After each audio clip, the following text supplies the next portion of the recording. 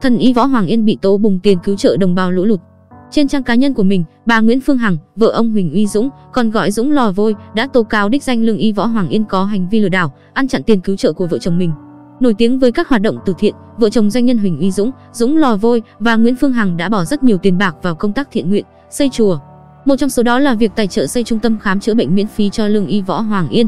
Cụ thể, khu khám chữa bệnh này được xây dựng tại khu dân cư Đại Nam, thuộc huyện Trơn Thành, tỉnh Bình Phước.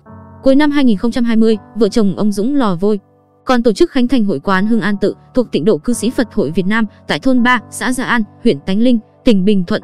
Do vợ chồng ông cúng dường và ông Võ Hoàng Yên là chủ trì. Tuy nhiên mới đây, trên trang Facebook cá nhân, bà Nguyễn Phương Hằng tố lường y Võ Hoàng Yên là lừa đảo.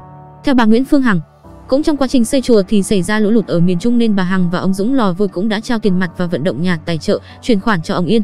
Tổng số tiền trên 3,8 tỷ đồng để ông Yên đi cứu trợ đồng bào miền Trung bị lũ lụt.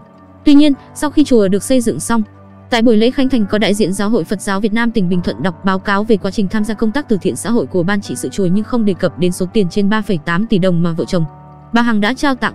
Ông Dũng Lò Vôi và bà Nguyễn Phương Hằng cho rằng không ngờ được lại bị lừa đảo tinh vi như vậy. Bà Hằng nói, tôi không ngờ lại xảy ra chuyện động trời như vậy. Tôi chuyển tiền mua vật tư xây chùa vào tài khoản cá nhân mà ông ấy không mua vật tư gì. Tôi vận động một nhà sư khác hỗ trợ 600 triệu đồng chuyển vào tài khoản và vợ chồng tôi tặng tiền mặt trên hai lần với tổng số tiền trên 3,8 tỷ đồng nhưng ông Yên không hề mang số tiền này đi cứu trợ cũng theo bà Hằng. Trong tịnh độ không có luật để đi quyên góp tiền bá tánh, chỉ có quyên góp trong nội bộ.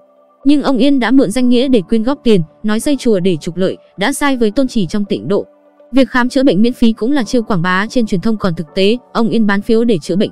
Ông Yên có tới ba vợ trong khi trên truyền thông ông ấy nói không có có vợ con. Ngoài việc đăng tải nội dung tố cáo lên trang Facebook cá nhân, bà Hằng cũng đã làm đơn tố cáo và sẽ gửi đến cơ quan công an nhằm làm rõ hành vi của ông Yên. Tất cả sẽ được lột trần ra sự thật trước công chúng. Tôi thật sự mong sự thật phơi bày để không ai còn bị vấp ngã như tôi, bà Hằng chia sẻ. Lương y Võ Hoàng Yên, sinh năm 1975, quê Cà Mau, được nhiều người biết đến với việc chữa bệnh miễn phí bằng phương pháp khí công y đạo cùng nhiều phương pháp khác. Hàng trăm clip đăng tải cách chữa bệnh trong và ngoài nước của ông được đăng tải trên mạng xã hội, YouTube thu hút nhiều lượt theo dõi. Ngoài hành nghề chữa bệnh, Võ Hoàng Yên còn là giám đốc công ty cổ phần Phú Bình Yên, chuyên sản xuất và trồng cao su ở tỉnh Bình Thuận. Tuy nhiên đến nay vẫn chưa xác thực được hiệu quả của những phương pháp này. Sau khi bà Nguyễn Phương Hằng đăng tải bài tố cáo, ông Huỳnh Uy Dũng, chồng bà Hằng và lương y Võ Hoàng Yên hiện đều tắt điện thoại.